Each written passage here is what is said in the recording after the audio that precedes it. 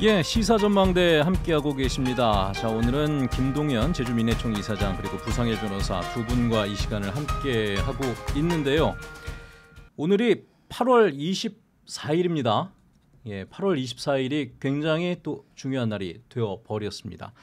오늘 오후 1시 3분부터 일본에서 후쿠시마 오염수를 바다에 방류를 시작했고요.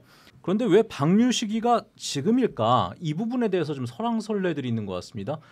자, 우리 두 분께서는 어, 제주의 지성으로서 왜 방류를 이 시점에 선택을 했을까라고 짐작을 해본다면 뭐 나와 있는 얘기들이 좀 있으니까 종합해서 박사님 뭐 할 말 있으시죠? 아니 그러니까, 그러니까 8월 그 전에 일본 언론에서 이, 이, 이 부분에 관련해서는 어, 소위 말하면 제대로 된 보도가 나온 게 쉽게 좀 드물었던 것 같아요. 그리고 특히 이제 그 인접 국가의 어떤 반응들이라든지 이런 예. 부분들. 아 일본 내에서 예, 예, 일본 내에서 아. 그래서 그래서 일본 내에서 어떤 정치적인 부분에서 상당히 예. 좀 어떤 그 특히 해양 이 오염수 방류와 관련해 일본 내 여론이 좀 더 악화되고 있는 아. 뭐 이런 상황들도 좀 예. 고려가 됐다 뭐 이런 보도들도 있, 있고 예, 예. 그래서 뭐 여러 가지 뭐, 기- 뭐 기시다 총리가 뭐, 뭐 인근 지역 방문했다가 뭐 도쿄로 급- 긴급하게 오기도 하고 예, 예. 그래서 아마 그 일본 내에서 여론이 일종의 변화되고 있는 뭐 여러 가지 추이들이 좀 반영된 게 아닌가. 아, 그이 얘기는 제가 조금 음. 이제 좀 더 첨언을 해드리자면은 우리가 알고 있는 그 내용으로는 음. 도쿄 전력이 이걸 바다에 방류하려고 하는 이유, 뭐 도쿄 전력이 이제 음. 좀 국유화 돼서 일본 정부가 됐습니다만은 가장 싸기 때문에 하는 네, 그렇죠. 거다라는 네. 거는 뭐 우리는 알고 네. 있었던 건데 일본 내에서는 의외로 이 부분을 잘 모르고 있었다라는 네. 보도들이 나오더라고요. 이제 잘 모르고 있었다라고 하고 그게 요즘에 또 최근에 일본 네, 내에서 그- 보도가 그- 됐다. 그러다니까 이제 뭐 어, 방류와 관련해서 반대 여론이 굉장히 좀 또 역전됐고 아, 뭐 그런 상황이었다라고 하더라고요. 그래서 그 뭐 일본 조- 정치 상황을 조금 알, 아시는 분들이라면 충분히 그럴 수 있겠다. 예, 아, 예. 일본 일본의 정치 상황이나 언론 지형이라고 하는 걸 감안한다면 변호사님 또 왜 8월 그러니까 그 뒤에 할 것 같았는데 왜 이렇게 빨리 했느냐 이 측면에서는 일본 내부의 사정이 가장 중요한 거라고 아, 생각합니다. 예, 예, 예. 그러니까 주변국의 그 반응이나 이런 부분 때문에 결정을 한 것이라기보다는 예, 예, 근데 도쿄 전력이 하루라도 빨리 방류를 해야 예. 그래야 이제 처리를 할 수 있는 그 용량이나 음. 이런 측- 이런 측면들도 고려를 해서 하루라도 빨리 방류하고 싶어 했었잖아요, 사실. 예. 네, 그러한 측면에서 방류 시점을 결정하는 것이 일본 내부의 사정이 가- 가장 크게 작용했을 것이다. 그, 내부에. 생각은 합니다. 아니 얼마 전에 한미일 정상회담이 열렸었잖아요. 아, 그리고 분위기가 굉장히 좋았었다면서요. 그러니까 그 안에서 이미 다 얘기가 되고 이제 어, 각국 정상들에게 어, 다른 나라 정상들에게 얘기를 하고 이제 날짜가 정해진 것 아니냐라는 얘기들도 나왔었고 일본 내 보도로는 어, 오늘 좀 일본 내 보도들을 저희가 많이 인용을 합니다. 방류 전후로 어 이제 뭐 그 한미일 정상회담을 하게 되면은 윤석열 대통령에 대한 한국 내 비판이 높아질 수가 있기 때문에 일본 측에서 이 부분을 좀 배려한 것이다라는 또 보도들도 나오고 있더라고요. 그러니까 주변국을 신경을 안 쓸 수 없는 상황이고 그런 것들 을 종합적으로 좀 판단했을 때 나온 결과가 아니었나 이런 만약에. 만약에 윤석열 대통령이 그 한미일 정상회담의 성과를 예. 조금이라도 그 고려했다면 예, 예. 오히려 지금 방류 안 하겠죠. 아, 구- 어, 조금 예, 더 예. 있다 방류하겠죠. 그러니까 무슨 뜻이냐면 예, 예. 어떤 이제 이슈가 이슈가 이슈몰이라고 우리가 표현하기도 합니다만은 예.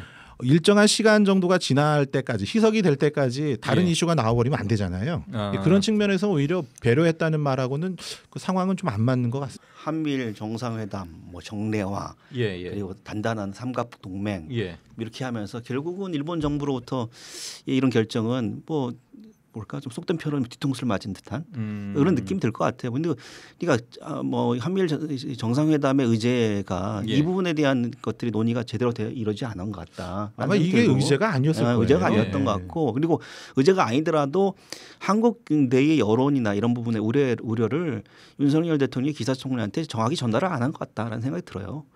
자 일본 정부의 방류 결정 그다음에 그러고 나니까 지금 중국과 홍콩 등에선 추가 조치를 경고하고 나섰습니다. 그럼 여기서 바로 나오는 것이 그럼 우리나라는 어떻게 하고 있느냐? 우리는 너무 이게 소극적으로 아무것도 안 하고 있는 거 아니야? 이런 또 얘기가 나오고 있어서 어, 이미 그 부분은 우리 정부에서 발표를 했죠. 그러니까 우리 정부도 그 수산물 일본산 수산물 수입과 관련해서 방사능 조사 검사를 좀 다 하고 있고 예. 심지어 전수 조사를 하겠다는 하고 있다는 얘기도 했었고 그 이제 사후다 굉장히- 대처자잖아요. 아 그런 그럴 수밖에 없죠. 예. 그래서 이제 그 이, 통관 절차를 하기 전에 각종 이 검사들을 다 하는 거 아니겠습니까? 예, 예. 그리고 이제 중국과 홍콩에서 이렇게 발표를 했다고 하지만 그쪽에서는 아마 그 방사능 검사를 하는 기간, 예. 시간을 늘림으로써 예. 예, 늘림으로써 사실상 수입을 막는 방식이 될 거라고 좀 봐요. 예. 그러니까 오염수에 의해서 이만큼 방사능 오염이 되었다라는 수치를 제시한다면 음. 그건 아마 국제사회 전체가 예. 일본의 그 오염수 방류와 관련된 어, 재고를 아주 강한 목소리로 하게 될 것이기 때문에 예. 그 자료가 나오는지 한번 지켜볼 필요가 있다고 생각합니다. 알겠습니다.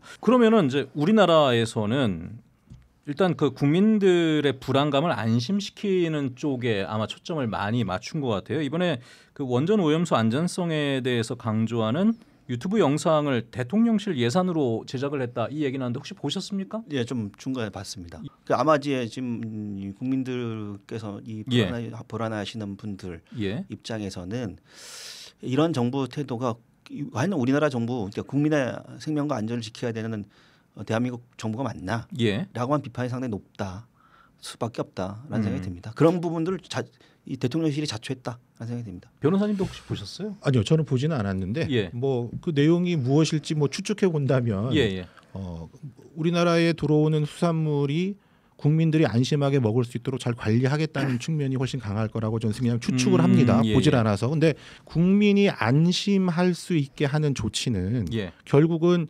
전수조사나 실제로 식탁에 올라가는 그 식품이 안전한 것인지에 대한 그, 조, 검, 그 검사와 그 검사 결과의 투명한 공개 예. 여기서 저는 올 수 있다고 보는데 사실 근데 문제는 이거는 시간이 걸리는 일이고 또 그 개별 케이스들이 누적되기 전에는 알기가 어렵다는 것입니다. 예. 그 과학의. 영역에서라 예. 하더라도 과학자들 간에 그리고 관련된 논문 관- 논문들도 예. 서로 정반대 입장을 보여주고 있는 것들이 상당히 많기 때문에 예. 그러니까 그런 부분이 있- 또 있고요. 그리고 또 중요한 건 뭐냐면, 그러니까 지금은 후쿠시마 아, 산 어, 수산물을 우리가 수입하지 않고 있지 않습니까? 예. 근데 이제 기준치 이하라는 이유로 이제 방류되고 핵 오염수 방류된 거 우리 한국 정부가 허용한 거나 마찬가지잖아요. 그 네. 인- 인, 정해준 거나 마찬가지잖아요. 근데 이게 이렇게 되면 뭐냐면 이 만약에 제가 일본 정부, 일본 수- 총리 저 수상이라면 예. 자 이게 기준치 이하의 오염수가 지금 방류되고 있으니 후쿠시마 관련된 수산물도 수입 제한을 허용 수입 제한을 풀어달라. 예. 라고 요구할 가능성이 높아요. 아, 당신네 나라도 그 어. 부분에 대해서 문제가 없다고 했으니 예, 예, 예. 제주도가 이제 앞으로 어떻게 해야 됩니까? 이거 그 지금 뭐 제주도에 좀 현실이 좀 돼버렸는데 각각 그 짧게라도 1분씩만 얘기 듣고 좀 마무리할까요? 정, 이, 이- 지금 이 상황에서 그럼 제주도는 어떻게 하면 좋을 것인가? 벌써부터 뭐 일면 이 수산물 찾는 사람이 적어졌다라고 예. 하는 그러니까 심리적인 어떤 이 불안감이 있는 거죠. 해녀분들 좀뭐 계속 난리 났더라고요. 네, 그렇기 때문에 저희도 차원에서 이게 국가적인 문제이기 때문에 예. 지방 정부가 할 수 있는 역할이 상당히 좀 줄어들 수밖에 없, 없지만 그럼에도 불구하고 제주 제주산 수산물이라든지 이런 게 안전성이라든지 예. 이런 걸 확보할 수 있는 여러 가지 대책들을 만들어야 되고 안. 되면 예를 들면 각 지, 광역 지자체, 지자체들과 예. 함께 좀 보조를 맞춰서 이런 부분들에 대해서 논의를 좀 할 필요는 있죠. 근데 글쎄요 지금 상황에서 제주도, 제주도 지방 정부가 할 수 있는 일이 예. 상당히 제약될 수밖에 없다는 생각이 듭니다. 음. 저는 뭐 위기에서 기회를 찾는다고 예. 제주산 해산물이 얼마나 안전한지를 예. 제주 우리 뭐 지방자치단에서 어떤 방식으로 국민들 또 심지어는 우리 제주산 해산물이 수- 수출을 되어서 그걸 예. 소비하는 해외의 소비자들에게 예. 예. 어 그것 그 점을 어떻게 우리가 어필할 것이냐 저는 거기에 초점을 맞춘다면 오히려 위기 상황에서 기회는 올 거라고 봅니다. 오히려 예. 예. 그러니까 그러기 위해서는 제주산 해산물에 대한 제주도 자체 내에 뭐 전수 조사를 할 수 있는 그런 예산을 확보하고 예. 또 그런 인력들을 어떻게 확보할 것이고 또 그걸 또 어떻게 또 잘 알려 나갈 것이냐 이게 제주 세일즈에서 굉장히 중요한 문제라고 좀 보고 거기에 집중해 주신다면 아까 말씀드린 기회가 오히려 올 것이다 그렇게 예. 생각합니다. 알겠습니다. 어제 오늘 각 언론사 인터뷰에 제주 해녀분들, 네. 뭐 수산업계 관계자분들 인터뷰가 많이 나오는데 좀 걱정이 이만저만이 아니거든요. 방류가 이미 시작이 돼버렸습니다. 그리고 30년 걸린다고 네, 하는데 네. 이것도 어떻게 될지 모르고 단기적이면서도 또 장기적인 대책도 같이 세워 나가야 될 시점이 아닌가 네. 싶습니다. 참 세상이 어지럽네요. 오늘 이야기 여기서 마치도록 하죠. 두 분 고맙습니다. 네, 감사합니다.